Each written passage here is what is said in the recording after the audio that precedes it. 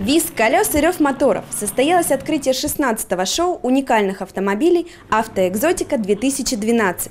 В программе фестиваля кольцевые авто и мотогонки, чемпионат Европы по мототрюкам, гонки на спортивных ретро-автомобилях, концерты и дискотеки, а также международная дрифт-битва. Дрифт – один из самых зрелищных видов экстремального автомобильного спорта и, пожалуй, самый захватывающий.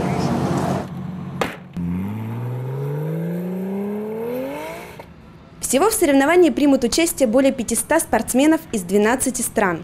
Автоэкзотика – это крутейшее мероприятие вообще, наверное. Ну вот как брать, если сингл-ивент, то оно вне конкуренции, оно очень классное. И приезжает сюда очень много сильных пилотов, и трасса отличная, и всегда все здорово. Дрифт – это управление машиной на грани возможного, возможного сцепления с дорогой, если это можно сказать сцеплением.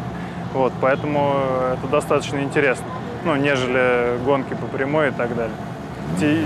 Плюс это достаточно зрелищно и эффектно. Ну, это драйв. Дрифт – это драйв. В самой выставке участвуют более 8 тысяч машин. Здесь и коллекционные ретро-автомобили, и спорткары последнего поколения. Впервые вышел в свет гоночный «Радикал». Он разгоняется до 100 километров за 10 секунд. Жюри выберет лучших в категориях ретро, тюнинг, спорт и кастом, то есть сделанный на заказ – Главный приз фестиваля получит самый экзотический автомобиль.